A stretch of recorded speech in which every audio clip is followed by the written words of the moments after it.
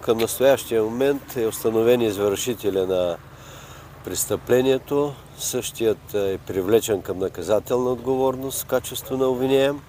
От прокурор наблюдаващ са му взимати 72 часа като предварително задържане.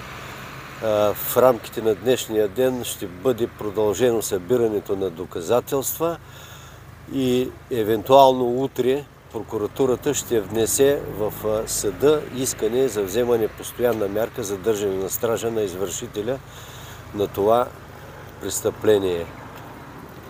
А, може ли, значи причината е ясна, а, алкохол, метамфетамин, висока скорост.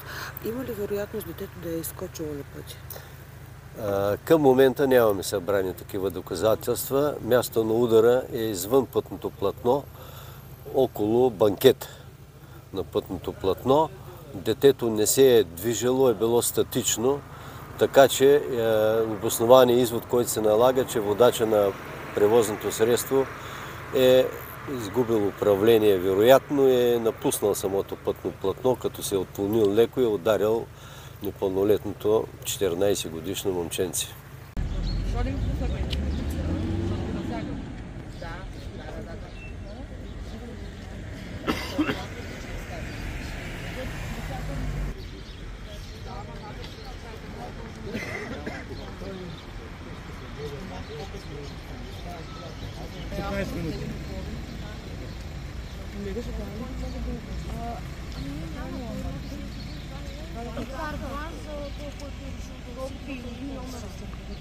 Не трябва още при спиране ли са без да има.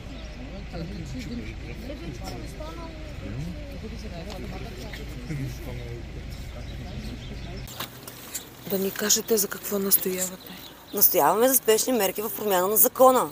Искаме да има наистина ефективни присъди, всички, всичко да, минималната присъда да бъде 10 години нагоре. Това е от една до 6 години жива подигравка. Детето ви какво разказва? Ми детето ми разказва това, което ви казах. Той не иска да говори. Как да говори, бе?